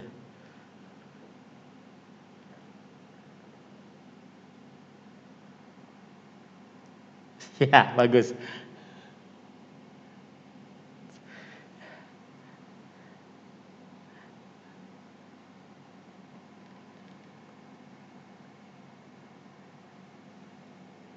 Taib. Uh, ini sebenarnya ada di nomor 18 memilih puasa atau berbuka bagi musafir? Saya jawab secara ringkas. Uh, orang bersafar dalam keadaan puasa ada tiga macam. Yang pertama, berpuasa dalam keadaan safar, ya, uh, bersafar dalam keadaan berpuasa, maksud saya, itu ada yang puasanya sangat menyulitkan dia bahkan sampai membahayakan dia, maka ini haram untuk berpuasa. Sampai membahayakan nyawanya, menyebabkan kecacatan pada tubuhnya, haram untuk berpuasa. Ya, berdasarkan dalil-dalil yang sudah saya sebutkan tadi, surat An-Nisa ayat 29, surat Al-Baqarah ayat 195, ya. Kemudian juga suatu saat Rasul Shallallahu alaihi wasallam pernah melihat uh, orang yang bersafar kemudian uh, ada yang berbuka. Eh, saya ulangi, di ketika penaklukan kota Mekah ada orang-orang yang sulit untuk berbu, berpuasa. Ya, kemudian Nabi Muhammad SAW mengangkat gelas ataupun bejana waktu itu di hadapan para sahabat ini penaklukan kota Mekah kemudian dia minum di siang hari Ramadan tuh. Kemudian setelah itu menunjukkan bahwasanya beliau tidak berpuasa. Lalu di tengah para sahabat ada yang berpuasa. Kata Rasul Shallallahu Alaihi Wasallam, ulaikal usat, ulaikal usat. Mereka ahli, mereka orang-orang yang bermaksiat. Mereka orang-orang yang bermaksiat. Nah ini menunjukkan keadaan pertama yaitu eh, safarnya membahayakan dia kalau dia berpuasa. Ini keadaan pertama haram untuk berpuasa. Keadaan yang kedua safarnya menyulitkan dia kalau dia berpuasa. Sulit, berat mungkin, tetapi tidak sampai membahayakan seperti yang saya alami tadi itu. Ya. Uh, uh, bukan bukan seperti yang saya alami. Artinya sulit tapi membahayakan dia. Maka ini hukumnya dia dianjurkan, lihat bahasanya, dianjurkan untuk berbuka dan dimakruhkan untuk berpuasa. Ya. E, pernah ada suatu saat beliau bersafar bersama para sahabatnya, lalu setelah itu ada orang dikerumuni oleh para sahabat, ditutupi begitu. Kemudian Rasulullah SAW bertanya, "Kenapa orang ini?" Maka para sahabat menjawab, "Saim wahai Rasulullah." Dia berpuasa wahai Rasulullah. Kata Rasulullah SAW perhatian, "Laisa minal birri as-saumu fis safar." Jadi orang ini ketika bersafar dalam keadaan puasa, Eh, maka dia mau pingsan gitu.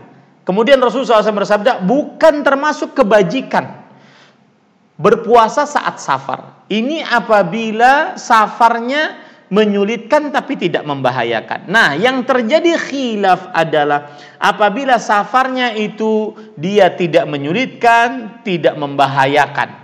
Tidak menyulitkan, tidak membahayakan. Apakah dia berpuasa?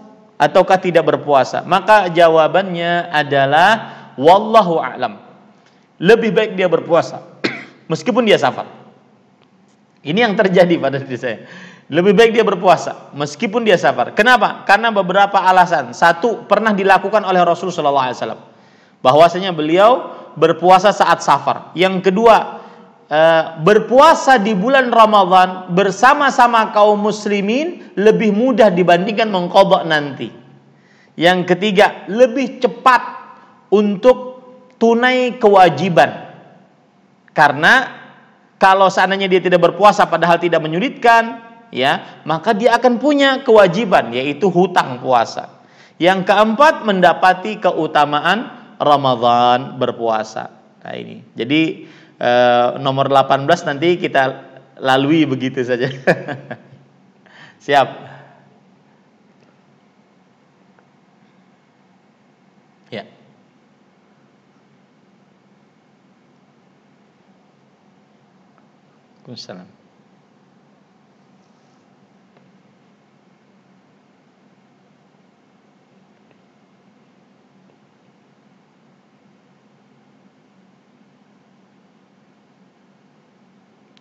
Bismillah walhamdulillah wassalatu wassalamu ala rasulillah. Perhatikan, saya akan perlebar permasalahannya. Hutang puasa.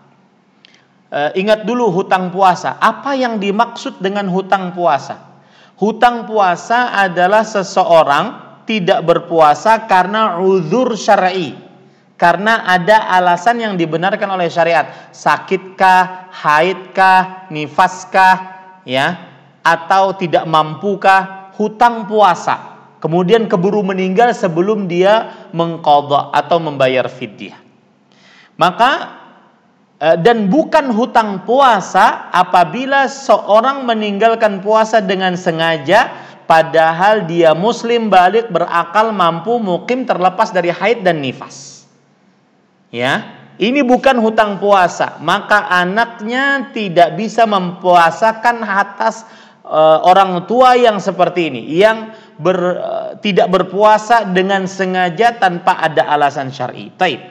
Sekarang kalau seandainya ada orang yang mem memang benar-benar mempunyai hutang puasa dengan alasan syar'i, entah itu sakit, entah itu haid, nifas atau tidak mampu, maka dilihat orang tua ini tidak berpuasa apa sebabnya? Apakah karena sakit sakitnya apakah kronis menahun susah eh, susah diharapkan kesembuhannya akhirnya sampai meninggal atau sakitnya akut yang diharapkan kesembuhannya ternyata dia meninggal? Ataukah hutang puasanya haid atau nifas atau safar? Ya kalau seandainya hutang puasanya adalah hutang puasa karena dia sakit yang akut yang diharapkan kesembuhannya ternyata Allah bertakdir dia meninggal atau haid atau nifas atau musafir maka anaknya boleh mengkodokan atasnya. Dan tidak wajib atas anaknya. Boleh tidak wajib. Perhatikan ya bahasanya. Boleh tidak wajib. Artinya kalau anak tidak mengkodok maka tidak berdosa atas anak. Ya tidak berdosa. Makanya boleh mengkodoknya dan ini termasuk bakti kepada kedua orang tua Dalilnya adalah Rasulullah SAW bersabda, "Man mata wa alaihi siyam sama anhu waliyu." Barang siapa yang meninggal dan dia mempunyai hutang puasa, maka walinya yaitu kerabat yang menjadi penolongnya, wali-walinya adalah e, boleh mempuasakan atasnya. Taib. Kalau seandainya hutang puasanya bukan karena yang tadi, tetapi karena tidak mampu, karena tua renta, karena sakit kronis, maka berarti orang ini sebenarnya dia bayar fidyah. Dia bayar fidyah. E, sampai meninggal belum terbayarkan fidyahnya, maka anaknya boleh membayarkan fidyahnya. Nah, jadi perhatikan baik-baik apa makna hutang puasa dulu, kemudian setelah itu kalau benar-benar paham baru dicocokkan apakah memang e, yang meninggal ini punya hutang puasa atau tidak. Wallahu a'lam. Nah.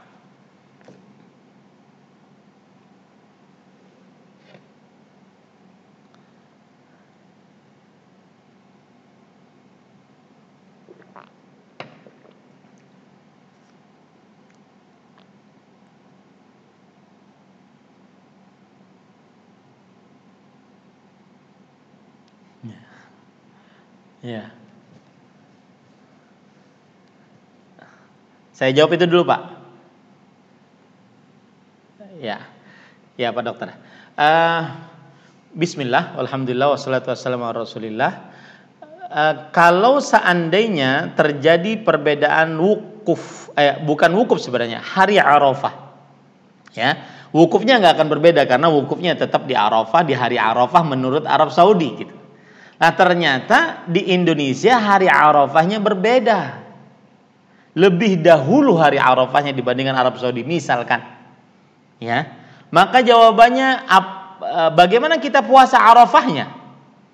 Puasa 9 Dzulhijjah yang pahalanya besar. Yukaffiru sanata allati qablah. Menghapuskan dosa satu tahun sebelumnya Pahalanya besar banget. Maka jawabannya wallahu a'lam. Untuk ya, untuk uh, penentuan hari Arafah seperti penentuan hari Ramadhan. Bahwa setiap daerah sesuai dengan penglihatannya masing-masing. Nah, taib. Ustaz, bukankah hari Arafah cuma satu? Yaitu saat orang-orang wukuf di Arafah maka jawabannya betul. Hari Arafah cuma satu saat orang-orang wukuf di Arafah. Itu kalau dikaitkan dengan wukuf di Arafah. Akan tetapi kalau dikaitkan dengan hari Arafahnya yang Rasul sallallahu alaihi wasallam bersabda, "Siyamu yaumi Arafah ahtasibu 'ala Allah an yukaffira an yukaffira as-sanata allati qablah wallati ba'da." Puasa hari Arafah aku berharap kepada Allah untuk menghapuskan dosa satu tahun yang, yang akan datang satu tahun yang telah lalu maka ini berkaitan dengan penglihatan hilal di awal bulan Dhul Hijjah gitu ya. Dan penglihatan hilal di awal di awal bulan sebagaimana sudah kita sebutkan setiap daerah masing-masing sesuai dengan penglihatannya masing-masing. Dan tentunya permasalahan khilaf di antara para ulama dan e, tugas kita sebagai seorang muslim yang uh, awam bertanya kepada yang ahlinya berdasarkan hadis ayat Al-Qur'an fasalu ahla dzikri in kuntum la ta'lamun yang penuntut ilmu meneliti pendapat-pendapat para ulama dengan dalil-dalilnya kemudian dia mengikuti pendapat yang lebih kuat lebih dekat dengan dalilnya Eh, kemudian yang ahli istihad beristihad sesuai dengan kemampuannya. Begitu kaum muslimin akan senantiasa dalam petunjuk Allah Subhanahu wa taala. Wallahu a'lam. Nah.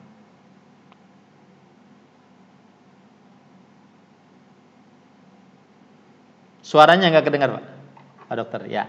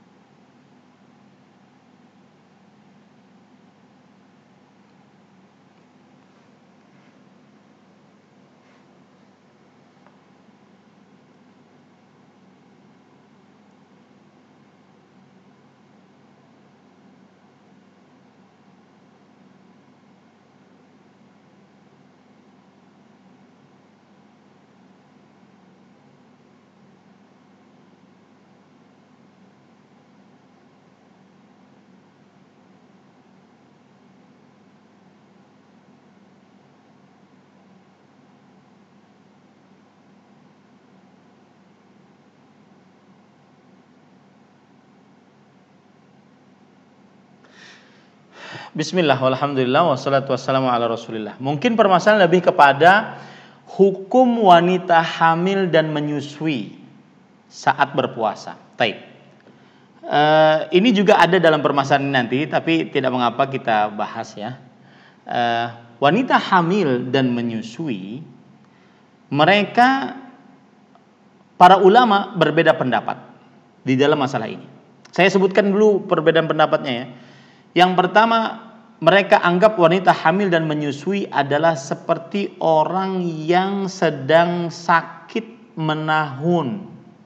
Sakit menahun, sulit diharapkan kesembuhannya. Maka otomatis yang begini mereka memfatwakan fidyah. Karena susah untuk bayar. Ya. Ah, ada pendapat ulama yang mengatakan bahwa Wanita hamil dan menyusui seperti orang yang sakit akut. Sakit sebentar datang kemu, datang kemudian cepat hilangnya. Diharapkan segera kesembuhannya. Oke. Maka mereka berpendapat yang kedua mengqadha. Wallahu alam, Imam Ibnu Utsaimin rahimahullah, ulama Islam abad ke-15 Hijriah ini ahli hadis. Kemudian ahli fikih dari kerajaan Arab Saudi berpendapat bahwa mereka ini masuk dalam kategori orang yang sakit akut. Berdasarkan dalil keumuman ayat faman kana minkum maridan aw ala safarin fa iddatu min ayamin ukhra. Siapa yang sakit atau bepergian maka boleh tidak berpuasa dan mengqadha di lain hari. Berarti dia mengqadha. Dan juga berdasarkan dalil hadis riwayat Imam Tirmidzi Rasulullah SAW bersabda innallaha wada'a 'anil musafiri wal hamiri wal murdi'i as-saum. Lihat di sini, sesungguhnya Allah membebaskan atas orang yang bersafar, perhatikan, safar. Wanita hamil, wanita menyusui puasa. Lihat ada penggandengan di sini. Kalau kita belajar ilmu usul fikih ada namanya dalalatul iqtiran, pendalilan secara penggandengan Ketika safar digandengkan dengan wanita hamil dan menyusui, maka hukum safar dengan hukum wanita hamil dan menyusui sama. Meskipun sisi pendalilan ini menurut ilmu usul fikih agak lemah, akan tetapi dia ada sisi pendalilan bagaimanapun. Ya. Maka ketika musafir tidak berpuasa dia mengkodok di lain hari Begitu juga wanita hamil dan menyusui tidak berpuasa dia mengkodok yang hari. Ditambah lagi sebagaimana disebutkan oleh Dr. Winda tadi, hafizahullah taala, bahwasanya wanita hamil menyusui asal hukumnya dia tetap disyariatkan berpuasa. Ini yang harus digarisbawahi baik-baik oleh para wanita. Dan ini yang terjadi pada istri saya. Beberapa kali hamil saat menyusui, eh saat eh, saat puasa maksud saya, beliau tetap puasa. Dan alhamdulillah kuat saja. Dan alhamdulillah anak-anaknya tidak ada yang cacat, tidak ada walhamdulillah mudah-mudahan seluruh anak kita menjadi anak-anak yang saleh dan qurratu ain. Nah, ini Bapak Ibu saudara-saudari eh, Pak Dokter, Ibu dokter sekalian yang dirahmati oleh Allah Subhanahu wa taala. Jadi kalau boleh saya eh, mulai dari awal bahwa asal hukum wanita hamil dan menyusui tetap disyariatkan untuk berpuasa. Ya, jadi karena e, kenapa pembicaraan seperti ini? Karena ada sebagian wanita hamil dan menyusui, Ustadz, tahun ini saya hamil, Ustadz, tahun depan saya menyusui, tahun depan lagi suami dilarang poligami, akhirnya menghamili saya lagi, Ustadz. Kemudian Eh, tahun depannya lagi saya uh, saya apa namanya hamil eh, nyusui lagi. Kapan saya koboknya Ustaz? Maka jawabannya pada saat itu adalah sebenarnya wanita hamil punya kans untuk berpuasa. Kecuali kalau memang ada dalam keadaan-keadaan kondisi wanita yang memang kalau hamil itu benar-benar lemah, maka pada saat itu dia tidak berpuasa. Dan terakhir, kalau memang dia mengkodok puasa, ternyata kejadiannya seperti tadi, uh, hamil puasa, eh hamil menyusui, hamil lagi menyusui lagi. Kapan mengkodoknya? Maka pada saat itu dia kalau memang benar-benar lemah, ambillah pendapat Abdullah bin Abbas, ambillah pendapat Abdullah bin Umar, yaitu dengan membayar fidyah. Nah, seperti itu. Wallahu a'lam. Naam.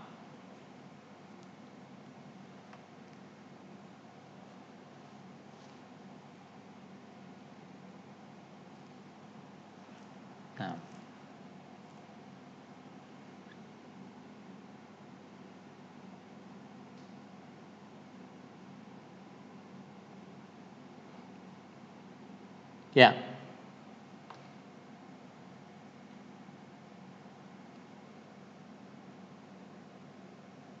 Ya.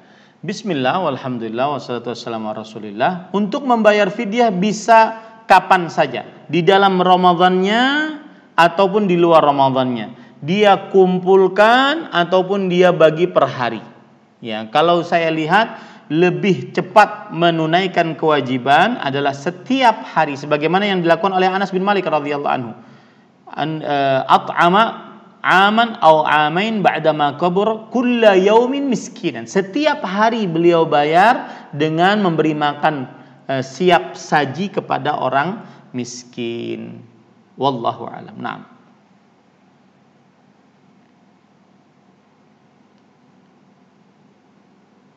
Iya, jawabannya iya boleh.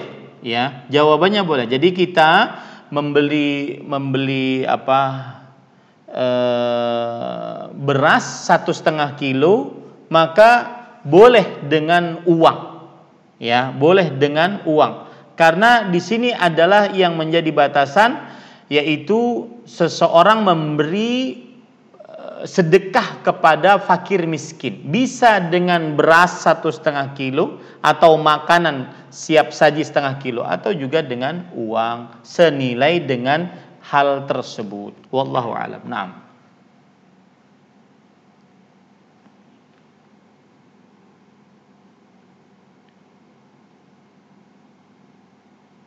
Assalamualaikum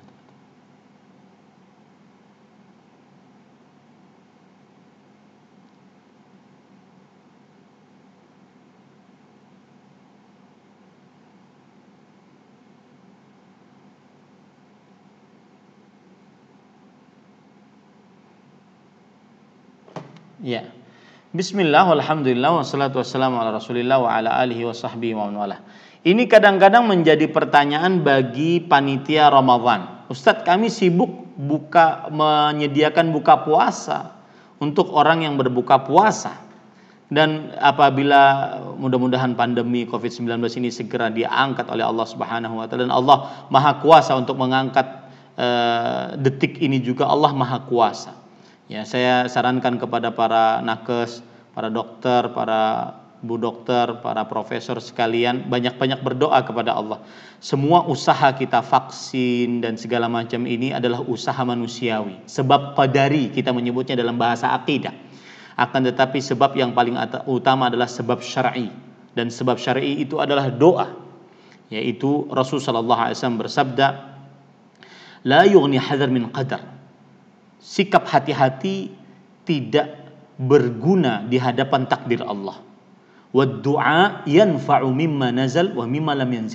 itu bermanfaat untuk musibah yang belum datang dan yang belum yang sudah datang. Wa inna du'a dan doa itu dihada menghadang bala fayatalijanihi yau ila yaumil qiyamah. Maka maka saling dorong dorongan sampai hari kiamat. Saling dorong dorongan makanya saya katakan mudah-mudahan eh, pandemi ini segera diangkat oleh Allah tanpa meninggalkan sedikit bekas pun. Akhirnya kita bisa i'tikaf ya bisa sholat malam bersama-sama di masjid gitu ya. Karena tidak ada i'tikaf kecuali di masjid ya. Dan memang ruh masjid saat i'tikaf itu beda sekali dengan ruh rumah di rumah ada istri, ya, kemudian ada makanan, ada anak-anak, ya, susah untuk memfokuskan ibadah kepada Allah Subhanahu wa taala. Tetapi yang jelas begini, eh, biasanya kalau dalam keadaan normal tidak ada pandemi, eh, salah satu yang dikeluhkan oleh panitia Ramadan terutama di 10 malam terakhir bahkan mereka sampai menangis kadang-kadang Ustadz kami ini menyiapkan sahur Ustadz Sedangkan kami ingin juga sholat malam Ustadz. Gimana? Maka jawabannya begini. Qul kullu ya'malu ala syakilati. Katakan wahai Muhammad setiap orang beramal sesuai dengan bentuknya masing-masing. Ya. Di dalam Ramadan syahrul ibadah, bulan ibadah. Entah itu dia beribadah untuk dirinya atau untuk orang lain yang paling utama pada saat itu menjaga keikhlasan masing-masing. Itu yang ingin e, saya tekankan.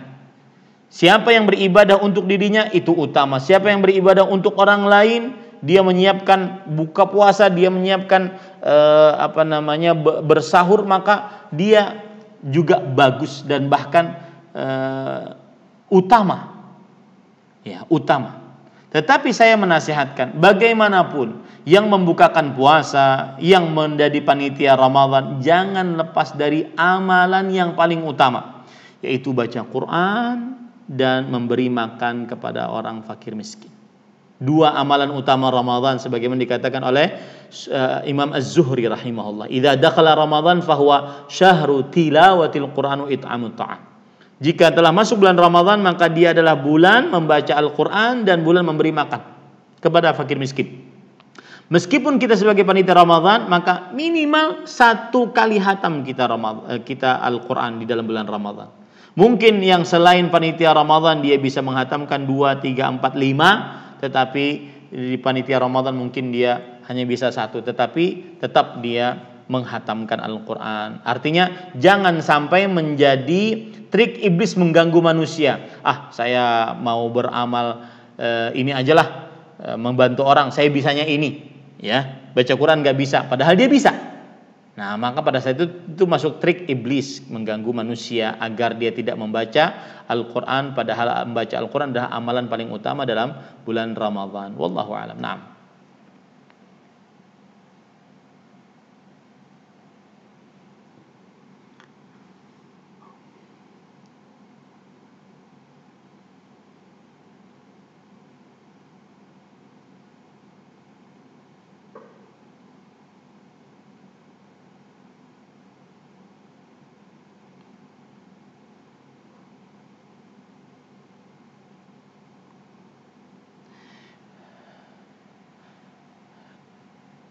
Uang masjid maksudnya apa Pak Dokter?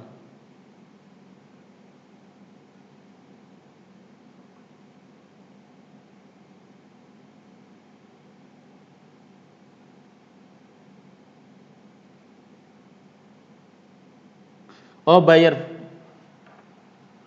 bayar fidyahnya ke masjid mungkin ya, bukan uangnya uang masjid bukan kali ya. Ya.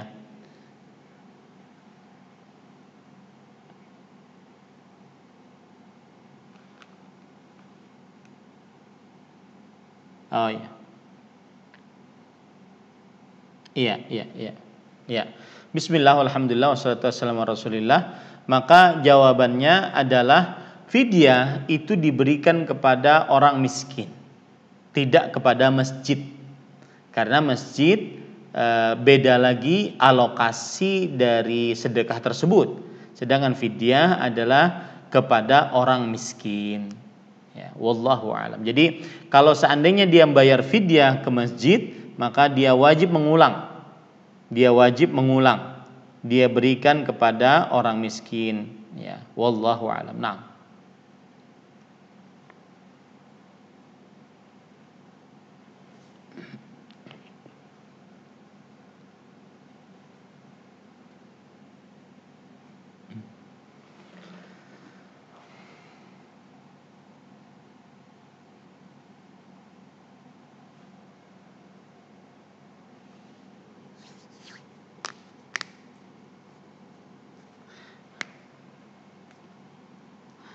Bismillah walhamdulillah wassalatu wassalamu ala rasulillah wa ala alihi wa sahbihi wa wala. Jawabannya adalah eh, Allah Subhanahu wa taala berfirman dalam Al-Qur'an, "Wa man yu'azzim sya'irallah fa innaha min taqwal qulub." Siapa yang mengagungkan syiar-syiar Allah maka sesungguhnya itu adalah ketakwaan hati. Bulan Ramadan adalah bulan puasa.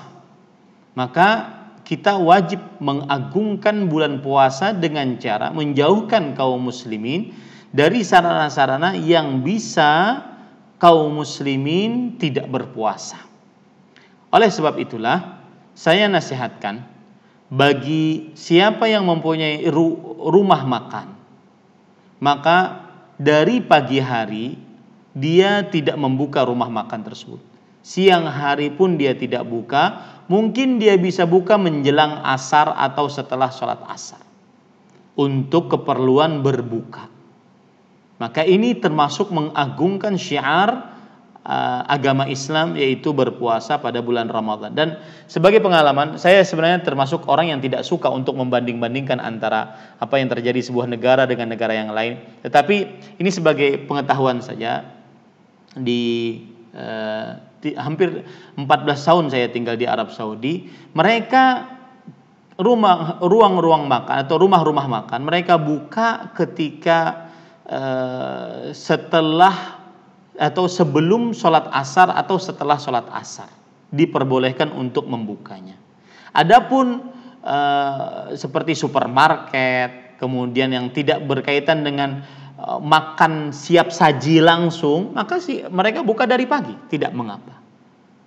Tetapi kalau rumah makan yang bisa makan di situ, kemudian uh, makanan-makanan yang langsung siap santap di di eh, ruangan tersebut atau di rumah makan tersebut, maka pada saat itu dibukanya setelah asar atau sebelum sholat asar sehingga benar-benar menghormati dan memuliakan. Nah, kalau seandainya ada orang bekerja di uh, uh, ruang rumah makan, ya, yang membuka di waktu siang hari terutama sebelum zuhur terutama juga, maka bagaimana? Maka saya khawatir dia termasuk orang-orang yang termasuk ta'awanu alal ithmi wal udwan tolong menolong dalam dosa dan permusuhan dan dia termasuk berdosa. Ya, termasuk berdosa. Taib Ustaz, kita ini kan di negara yang uh, majemuk, bineka tunggal ika. Ya, banyak eh, non muslim yang ada di sekitar kita. Maka mereka bagaimana? Maka jawabannya salah satu caranya adalah mereka membeli makanan yang non siap saji ya dari supermarket dan mereka makan di rumah. Begitu cara bertoleransi dengan eh, kaum muslimin ya mereka membeli makanan ya. Tidak mem membuat warung-warung yang cuma kelihatan kakinya saja. Ini termasuk daripada hal yang tidak mengagungkan syiar Islam. Wallahu alam. Nah.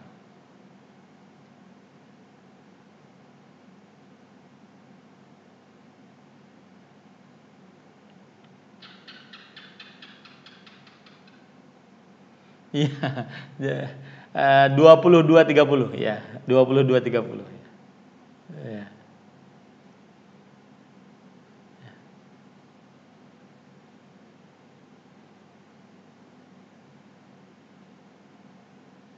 Amin. Amin. Amin.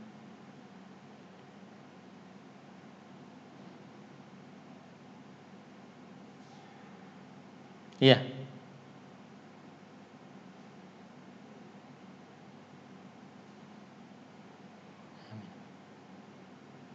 Sama-sama Pak Dokter.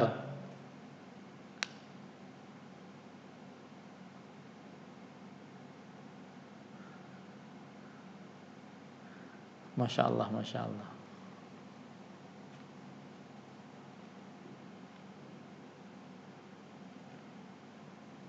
Amin.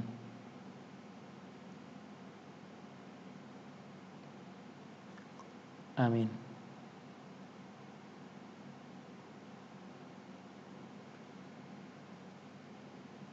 Subhanakallah bihamdika asyhadu an la illa anta astaghfiruka. Sama-sama Pak Dokter. Waalaikumsalam warahmatullahi wabarakatuh.